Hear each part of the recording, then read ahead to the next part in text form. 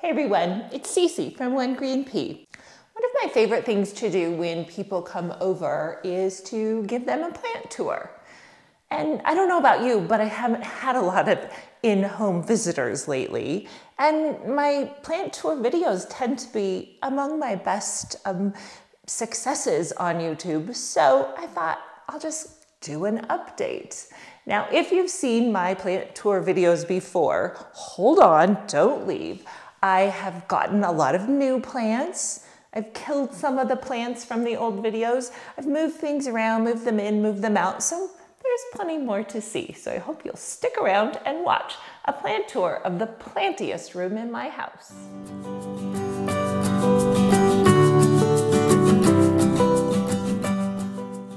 Let's just start here and just make our way around the room. This is my Ficus lyrata or fiddle leaf fig. Now, I know some people consider these plants difficult. I have not had trouble with mine, and I think it's because he gets a lot of natural light. That is an east-facing bank of windows, and as you'll see over there, that is a south-facing bank. So a lot of natural light, and I'm really careful with watering. He's got a nice branch coming off over here and another one right here.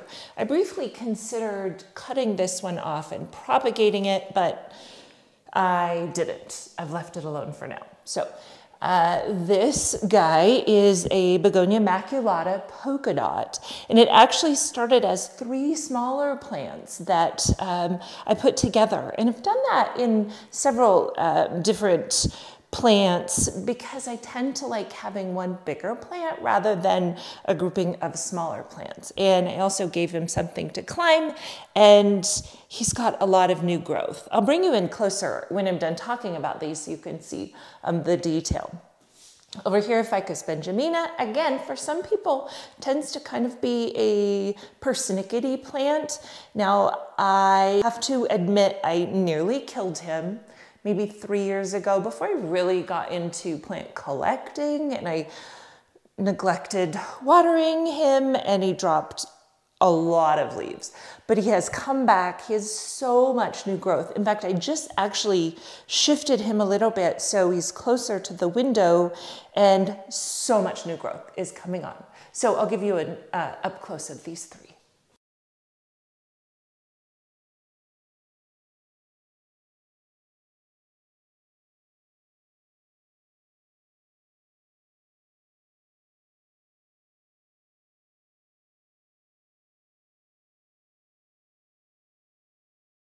Okay, moving over to the corner. I have two Rex begonias. This one is called Jurassic Watermelon, and he spent the summer outside. So he's just transitioned inside, and he's not very happy. He's kind of crispy. Um, but what I have found with Rex begonias is that they take well to a hard trimming. I can prune him all the way back, which I'm going to do. The um, crispy leaves.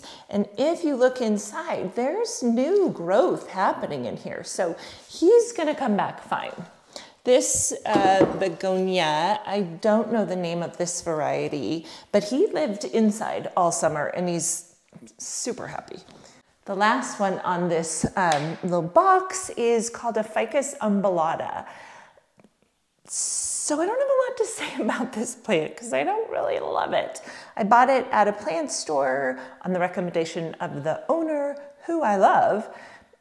Mm, I mean, it's fine. It's fine. I'm gonna stop with that. It's fine.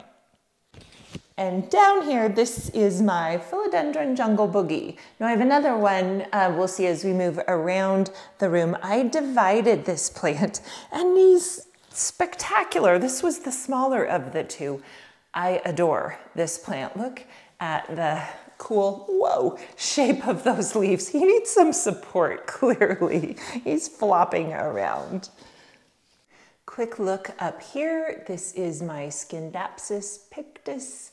He is so happy. He gets indirect light from this east-facing window, and it seems to be enough. Okay, these plants get the prime position of sitting in the the windowsill of this east facing bank of windows. Now filming into this makes it a little tricky, but we'll just do it quickly. Okay, this is my raindrop peperomia. He has grown really well. I love the giant leaves that he's putting out and um, obviously happy because he's making a flower. Inflorescence is what they call those. This is another peperomia. This is an obtusifolia, of which I have several. I um, started this plant from leaf cuttings and it took a really long time for them to root, but so far it is doing really well. Something kind of interesting, quick note on um, propagating peperomia, the most of the leaves are on the outside that I propagated, that I started with, and they're all, as you can see, variegated, but the new babies are not. And I had heard that would happen, but I needed to see it for real, and it's true. Moving on. Window two. This is a philodendron pink princess that I've recently gotten, getting a new leaf pushing out here string of pearls, Senecio rowleyanus. And I like uh, that this one, this variety, uh, the name escapes me, has purple stems instead of green, so super pretty.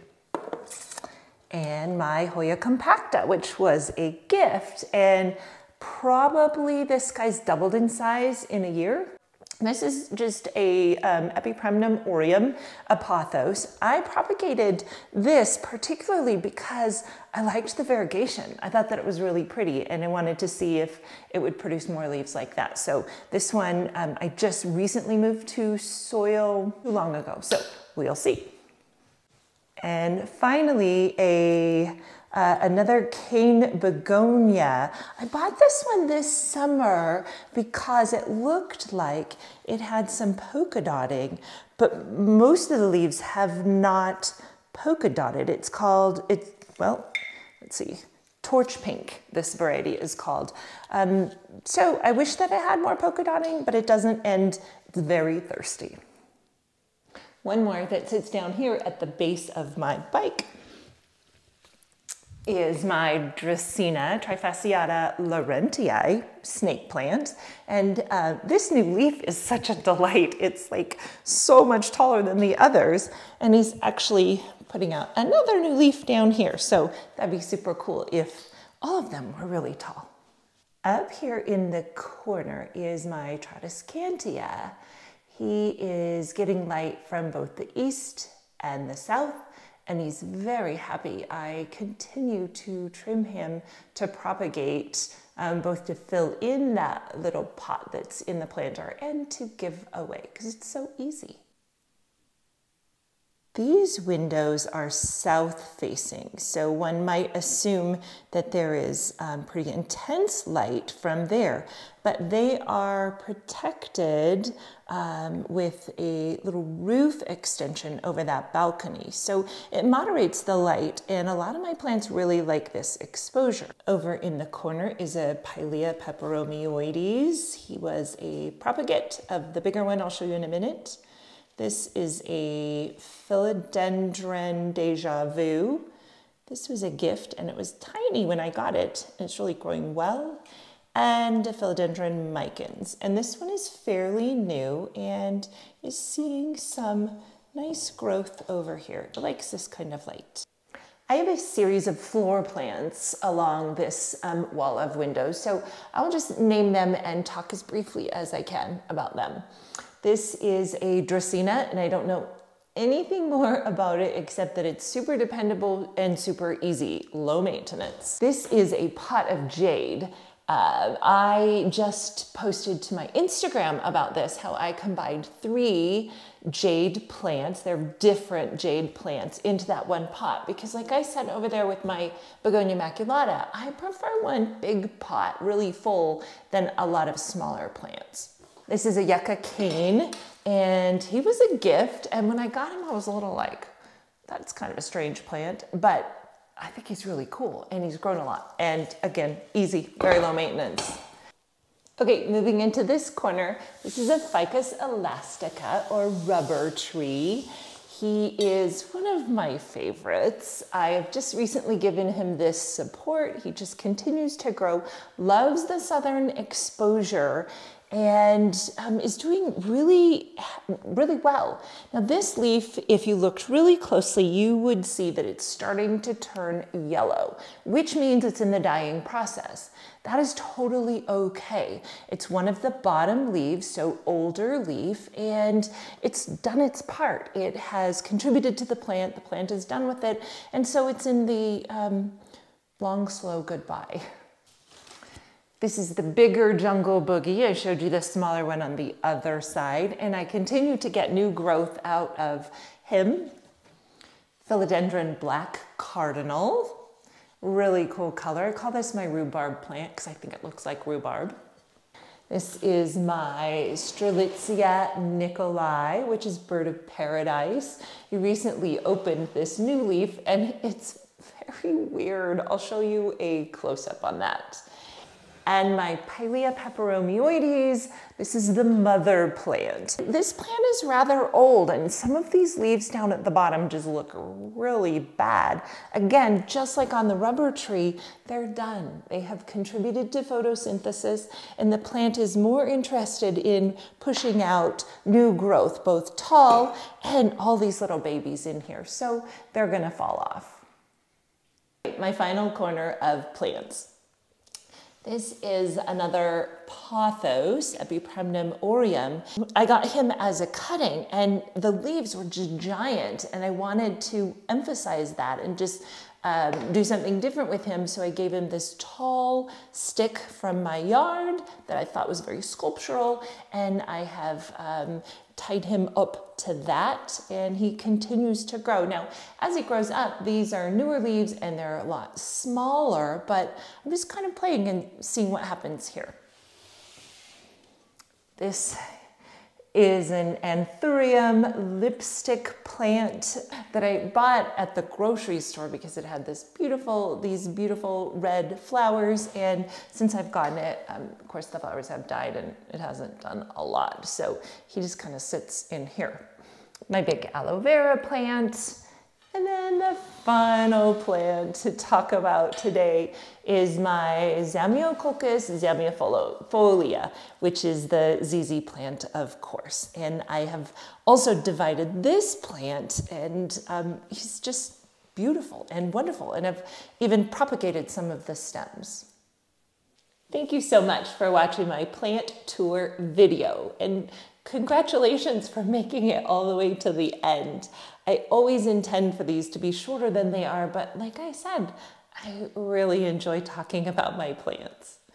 If you liked this video, please give it a thumbs up. And if you're new to my channel, welcome. Please hit that subscribe button.